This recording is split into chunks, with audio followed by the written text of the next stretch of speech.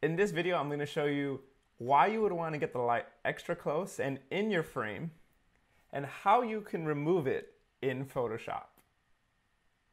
So you're probably wondering, why would I wanna get the light extra close and include it in my frame? One of the reasons is, is if you get the light close, obviously you're gonna get that nice soft light, you're gonna get that extra punch of light as well, but the only issue is, is that it's gonna be included in your frame.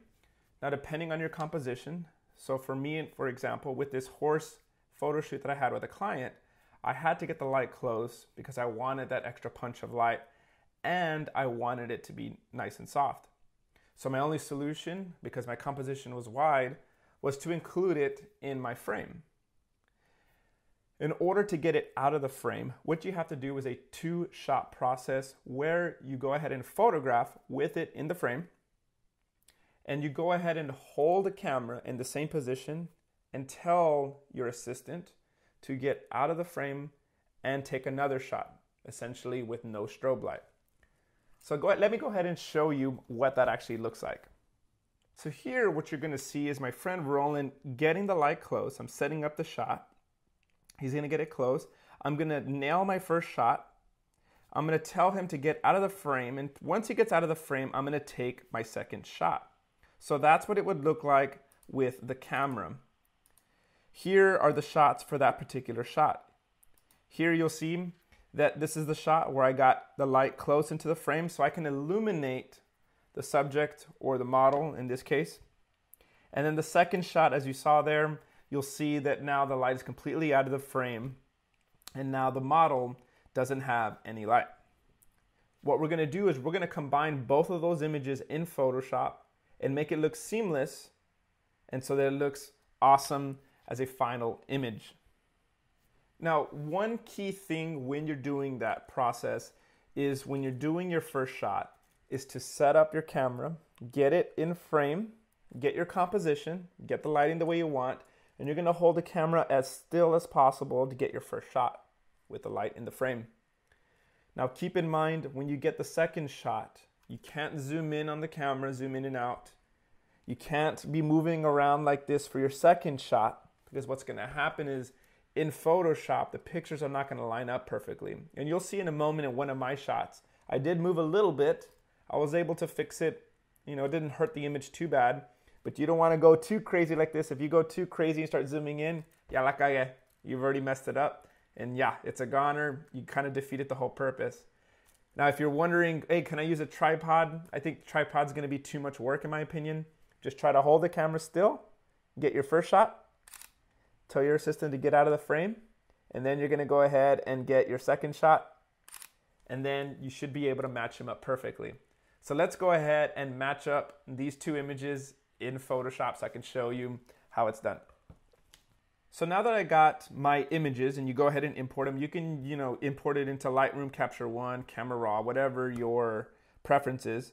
Now, one of the key things when you're in whatever software you're using is to copy the same settings on both images. So in this particular image, I went ahead and I went to my develop module and I made my adjustments, whether it's white balance, exposure, contrast, highlights, vibrance, etc.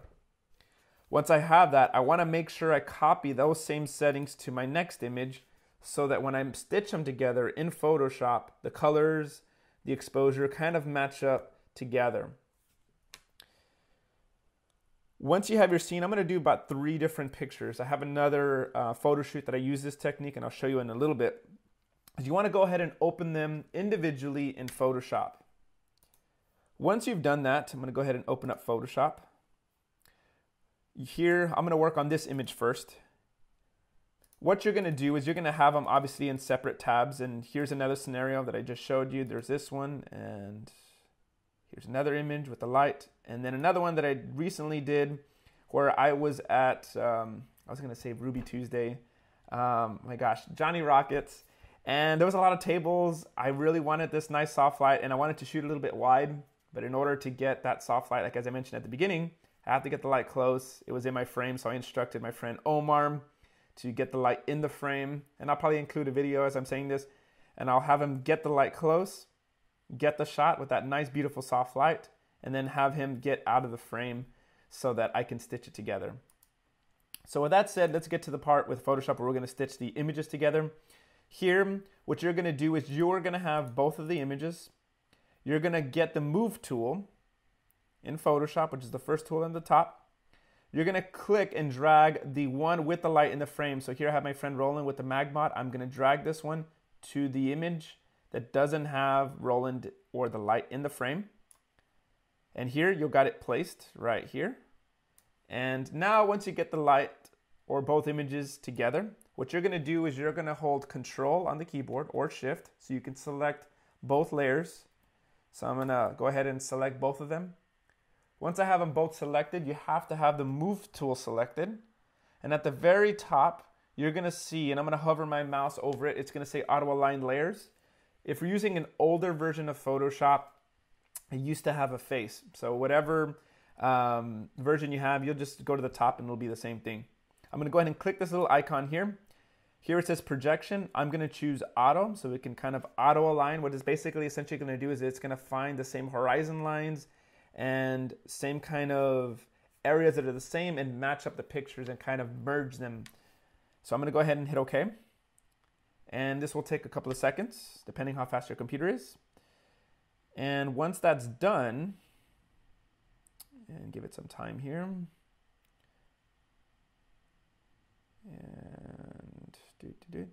there we go.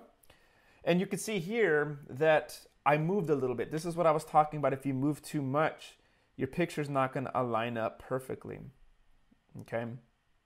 So what I'm going to do now is I'm going to go ahead and I'm going to go and go to layer one, which is the layer, if I click the eyeball, is the one with the light. Essentially what I'm gonna do is I'm gonna add a layer mask so that I can mask out that light. What I'll do is I'll go to layer one, I'll click the layer mask button, which is down here. It says add layer mask. It's gonna be white. White means that that not doing anything particular to that, that specific layer. It's still showing because white means it's revealing. What I wanna do is I wanna remove it. So I'm gonna do the opposite now and I'm gonna get the brush tool. I'm gonna set it to black. We're gonna make sure that up here at the very top that we're gonna have a soft brush, a soft round brush, the hardness at zero, opacity 100, flow 100, and smoothing at zero. I gotta make sure I have clicked on the layer mask and I'm going to gradually, slowly start erasing that little portion. You'll see that I have a line up here and I got a line over here. What I'm gonna do is I'm gonna use the edge of the circle. I'm not gonna get the middle part of the brush. So I have two options. I can either use the edge or just make my brush smaller. So I'm gonna press the left bracket on the keyboard, make it smaller, and then I'm gonna go ahead and use the edge of the brush so that I can just gradually blend these two pictures together. Because what you wanna do is you wanna make it look seamless and you wanna make it look cohesive. And so I'm gonna go ahead and gradually remove this one as well and now the picture's been stitched perfectly. So if I click this little little eyeball, I could go in here and kind of remove some of this if I wanted to. I'm just doing this quick as a demo, but once again, you guys can go in there and erase any other particular parts that maybe look a little bit off. What I'm gonna do now is I'm gonna go ahead and crop because I did move a little bit, right? And I'm gonna get the crop tool. I'm gonna go ahead and lift this up because obviously these little squares means that that's a transparent background. It means the background's non-existent. I'm gonna bring it right about here, double click, and there's my crop. Now my picture is a little bit lopsided. I have a bad habit of doing that. Um, so I'm gonna go ahead and get the crop tool. I'm gonna get the straighten. I'm gonna click and then drag so get this horizon line perfectly straight. And I'm gonna go ahead and move this across here and double click and there you go, voila. Now I've just shown you how to achieve the awesome soft light. And let me crop this in a little bit. There you go. And now I've shown you how to crop and add that nice little soft light using the two shot technique. I'm gonna go ahead and do another two images. So if you kind of wanna see uh, this one more time, I'm gonna go a little bit quicker. So here, I'm gonna get the image with the light. I'm gonna click, and then drag the light on top. Now this one I did a better job of not moving as much. So I'm gonna hold control to select both of them. I can also hold shift I'm gonna go back up here with the move tool, click the auto align, make sure it's on auto, hit okay. And here it's gonna take a couple of seconds here. There we go. We're gonna go to layer one, which is the one with the light. I'm gonna add the layer mask. It's gonna be white, which is fine. I'm gonna get the brush. We're gonna make sure it's black so that we can remove that particular part. Make sure we're on a soft brush. 100 opacity, flow 100, smoothing at zero. And I'm gonna make a smaller brush, so I'm gonna remove the light. There we go. And that's it. I'm just removing my assistant there, Roland. And there we go. So you can see I was off a little bit, so I'm just gonna get the crop tool. I'm gonna crop it in just a little bit there, lift it up ever so slightly, and bam, I already got another image done. And let's do one more. I'm gonna go ahead and do the one that I recently did with Najla. I'm gonna get the move tool, drag the image where I had Omar and the light, drag it on top of the other image. I'm gonna hold control to select both of them. I'm Gonna click the auto align, hit auto, hit OK.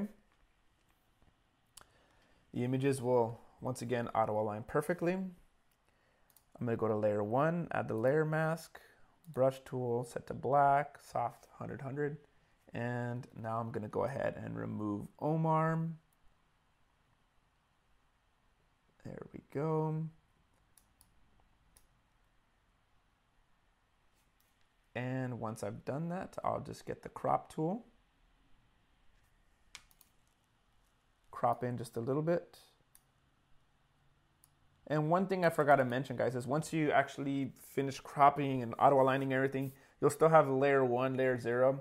This is where you're gonna go to layer and then flatten image. So basically you can start editing your image in Photoshop, assuming you do your high end retouching in Photoshop. In my case, that's what I do. I'll do my dodge and burn, my uh, blemish removal, my frequency separation, and also my color grading and all that stuff. All right, guys, that's it for this tutorial. This was a little quick tip video. Don't forget to subscribe. I have more videos coming out soon. And if you guys use this technique, please tag me on Instagram. I would love to see what you guys come up with using this technique. I'll see you on the next one. Peace.